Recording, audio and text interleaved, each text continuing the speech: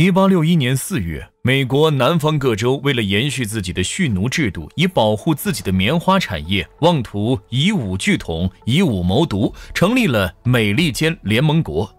在合同无望之后，为震慑国家分裂分子，美国发动了统一战争，开启了残暴的无统之路，对南方直接实行了三光。面对北方军队的残酷打击，南方平民哭诉道：“我们只是平民，为什么要烧我们的房子、拆我们的地？我们都是美国人呀，南北一家亲呐！”谢尔曼将军怒斥道：“Fuck you！南北一家亲，亲你麻痹！当年我们说一家亲的时候，你们是什么态度？是谁他妈的在支持分裂分子，为他们叫好，并提供战略物资的？”而今是在打仗，你以为是在过家家？现在想求饶太迟了。为了祖国，弄死你们！关注土豆，今天就和大家聊聊合统无望后，一八六一年，美国开启了狂暴的武统之路。也欢迎将您的高见打在公屏上，大家一起交流。好了，长按点赞，我们接着看一个坏土豆作品播讲，张佳琪。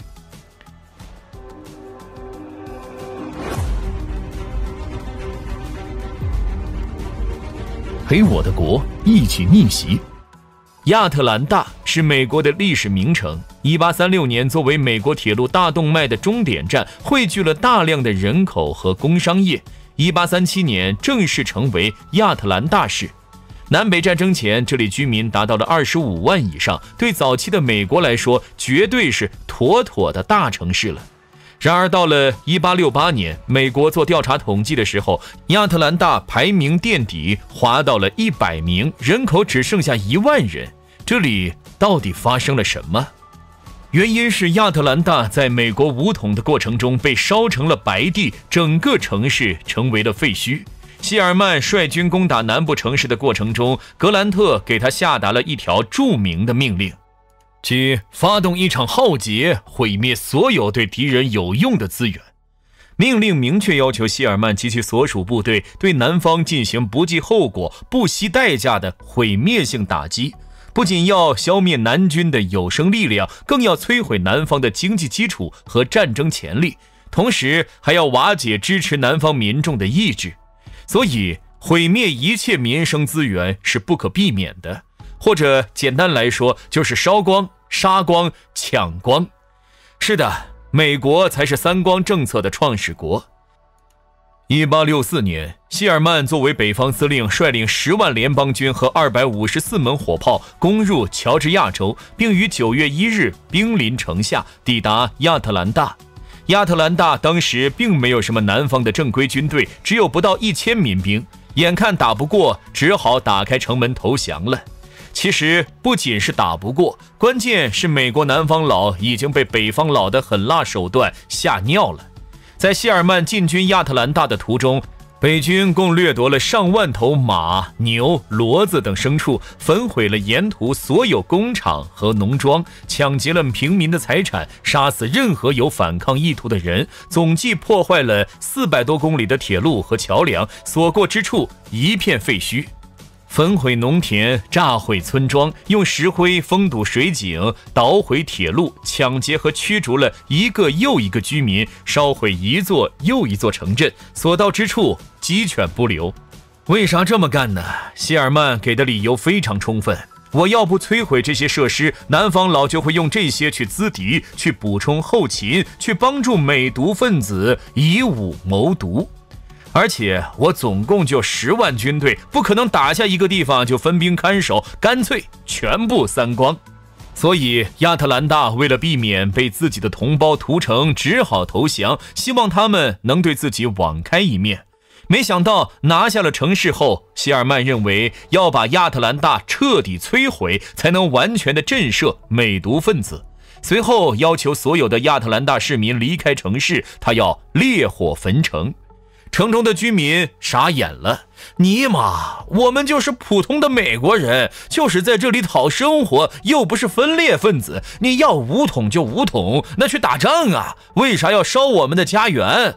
何况我们一枪不发就投降了，我们是维护美国统一的呀！你这不是不讲武德吗？我们所有的心血都在这里，你要一把火烧掉。为了保护自己的家园，亚特兰大市民坚持拒绝离开。他们以为城中有如此多的平民，联邦军队不会残忍地将他们全部杀死。大家都是同胞啊，你不会这么下狠手吧？南方平民说：“我们只是平民，为什么要烧我们的房子、拆我们的地？我们都是美国人啊，南北一家亲呐！”结果，谢尔曼将军怒斥道：“Fuck you！南北一家亲，亲你麻痹！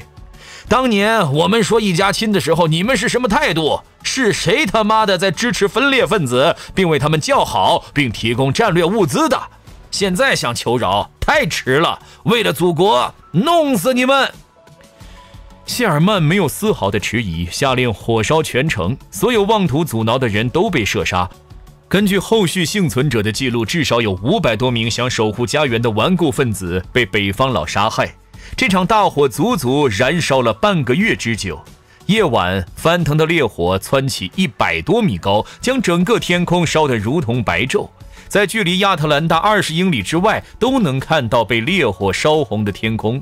白天，从整个城市翻滚而上的巨大浓烟遮天蔽日。希尔曼看着漫天大火，说下了著名的狠话：“我们一定要清除和摧毁一切障碍，只要我们认为有必要，就杀死每一个人，夺走每一寸土地，没收每一件财物。”一句话。无情的摧毁我们见到的一切东西，我就是要让整个乔治亚州都鬼哭狼嚎，我就是要让整个乔治亚变成地狱，我就是要让所有乔治亚人，不管男女老少，不管穷人和富人，都感受到刻骨铭心的痛苦。我的军团将毁灭乔治亚州而后快。回想历史上这个名场面，我只能评价太牛逼了。亚特兰大在这场浩劫中化为废墟，只剩下一条街幸存下来。这条街如今成为了亚特兰大的一个历史象征，被叫做 The Street and Ground。这条街被称为下街，要乘坐电梯到地下才能看到。换句话说，今天的亚特兰大都是在原来的废墟之上建立起来的，完全是个新城市。旧的市区被完全的摧毁，埋于了地下。二零二零年十一月，这段历史被美国导演克里斯多夫搬上荧幕，片名就叫做《亚特兰大的燃烧》。火烧亚特兰大仅仅是希尔曼随手干的一件小事，为了震慑美毒分子，他的丰功伟绩多了去了。南北战争中的转折点是维克斯堡战役。维克斯堡这座一八二五年建立的密西西比河畔的城市，是南佬们的重要基地。为附近棉花和肉牛贸易中心、木材市场，生产各种战略物资、棉籽油、硬质木材、活动房屋、服装、机械零件等，所以这也是北佬一定要拿下的最关键的战略要地。但从1862年的11月一直打到1863年的7月，尽管被北佬军队团团包围，南方佬拒不投降。最后，北方军队恼羞成怒，决定将维克斯堡轰成一片废墟。北佬从水上和陆上对维克斯堡进行猛烈炮击，这是真正的无差别攻击。轰隆隆的炮声一直响了四十七天，一天都没有中断，摧毁了城市里的所有工厂、民房、要塞，连一个房子几乎都找不到。到最后，南佬只能挖地道躲藏，以蛇和老鼠充饥。七月四日，南老实在扛不住投降，城市中已经尸横遍野。此战，南方军队战死一点一万人，而之后根据相关资料的统计，很多人预估至少四万以上平民死于炮火之中，无数人失去了自己的亲人。这场战争彻底奠定了北方的胜局，对南老的心理阴影有多大？从此之后，维克斯堡拒绝庆祝美国的国庆。只有在一九四五年二战美国快胜利的时候，仅仅就搞了这一次。被北方佬这么残酷对待，南方的美国人又不是傻子，当然要报复。奈何南方的美利坚联盟国实力不如北方的美利坚合众国，战争一直爆发在南边，打不到北边去。于是南方就想出了一招，往死里虐待北老的战俘，弄死他们。南北战争期间，南老搞得最知名的战俘营是安德森维尔战俘营，进去了九死一生。所谓的战俘营，几乎就是一片林地，没有房屋，没有遮拦，甚至没几个围墙，就是旁边有哨所和大量的警戒。南方的要求是对任何触摸、踩踏或跨越这条界限的战俘格杀勿论。最高峰时，这里关押了近五万北方战俘。所有人被赶进去以后，跑出来就会被射杀，然后战俘们在里面自生自灭。没有水，全靠下雨，几乎没有食物，要帐篷自己挖树枝找树叶搭，想吃东西自己挖虫子扒树皮吃。幸存活下来的迈尔斯少校回忆说：“无论刮风下雨、酷暑还是严冬，总在寻找粮食。尽管他竭尽全力，仍然有几百名战俘死在营房。”有时还出现战俘孤身一人死在洞穴中，却几天没人发现的现象。缺乏食物的战俘们大口地咀嚼着树林里的橡树籽。由于战俘数量的剧增，食物和住宿条件急剧恶化，导致了战俘的大量死亡。安德森维尔战俘营干掉了近两万战俘。威尔茨上尉在战后被清算，判了死刑。到今天，美国还有安德森维尔国家历史遗址公园。在2021年的时候，美国人还为虐待致死的美国战俘举办了葬礼仪式进行纪念。谢尔曼知道自己的士兵被残酷对待，他笑了：“你们想和我比狠？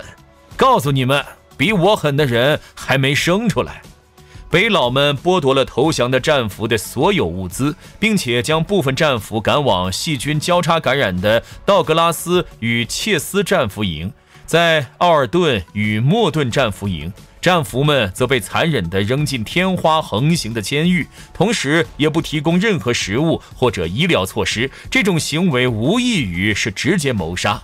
但是很快的，谢尔曼发现这样干太浪费资源了。最后，开创性的让南方战俘去挡挡子弹、做肉盾，或者让他们去做扫雷器。在一八六四年，北军先头部队遭到南军布置的陷阱，装有摩擦引线的八英寸炮弹，不少北方士兵非死即伤。谢尔曼决定以牙还牙，直接拉来大量南军俘虏，命令他们密密麻麻地前进去扫雷，用刺刀和子弹逼迫他们前进。看到这一幕，谢尔曼哈哈大笑。他在回忆录中写道：“我下令从监狱看守那里带来大量的叛军战俘，拿着镐和铲，以密集队形沿道路前进，以引爆或挖掉地雷。”战俘们苦苦哀求，但我重复命令。看着他们小心翼翼地踩在每一步都可能踩到地雷的路面上，令我忍俊不禁。我真是期待看到他们被地雷轰炸的模样。总之，这样的记录比比皆是。谢尔曼这样残酷地对待南方美国人，林肯他们知道吗？我要说他不知道，你信不信？他肯定知道，并且默许的呀。在战争的初期，美国北方并不占优势，而在后续能力挽狂澜，无外乎就是两个原因：一个是林肯搞了宅地法，让美国人疯狂地西进抢劫印第安人的土地，让他们拥护自己的政策，为保护自己的财产而全力歼灭南方的美独分子；第二个就是谢尔曼搞了三光政策。正所谓，路边的狗都要挨两巴掌，地上的蚯蚓都会被竖着劈开，碰到的鸡蛋都会被咬散了黄，所到之处寸草不生，真真正正的焦土梧桐，让南方的经济直接崩溃，军队失去了所有的后勤保障，抵抗意志完全瓦解。北方的大扫荡给美国南方造成了难以估量的财产损失，有数以十万计的平民直接死于谢尔曼军团的大扫荡和抢劫引起的大饥荒，上百万人沦为难民。按照当时的物价，谢尔曼的作战造成了一亿两千万美元的损失，然而其中只有两千万是为了作战利益而破坏的，其余的大部分都是对非军事目标的破坏。谢尔曼的行为彻底地打破了旧时代战争的界限，他把战争扩大到了全体人民，而不仅仅是武装力量。那么，我们应该如何评价谢尔曼的这种行为？这样的战争行为在同一时代的欧洲本土很难再看到，只有在之前拿破仑战中可以找到偶然的例子。欧洲的媒体在此时疯狂地抨击谢尔曼为战争屠夫，他因此而获得一个称呼，就是美洲大陆的阿提拉。阿提拉就是古代欧亚大陆凶人的领袖，被称为上帝之鞭，所到之处疯狂的劫掠与屠城，让西方世界闻风丧胆。正是因为他导致了罗马帝国的崩溃。但是对此，谢尔曼说：“老子不在乎。”谢尔曼从来没有为他在南方的作为说过任何忏悔、道歉乃至遗憾的话。战后面对指责，谢尔曼将军则回答：“如果人们觉得我残酷和残忍的话，我就会告诉他们，战争就是战争，它的目的并不是要博得人们的好感，战争就是地狱。如果你们想停止这一切，想要和平的话，你们和你们的亲人就应该放下武器，停止这场战争。”我给大家翻译翻译，简单说就是：谁要你们想分裂祖国的，活该。谢尔曼临死前说道：“我没有什么可以忏悔和道歉的，我的所作所为无愧于我的良心。”那么，对于反人类战争罪犯谢尔曼的所作所为，美国是怎么评价他的呢？美国对他的评价有正面的，也有负面的。但真正的始作俑者希尔曼身后的林肯，从来都是在美国历届总统中排名前三。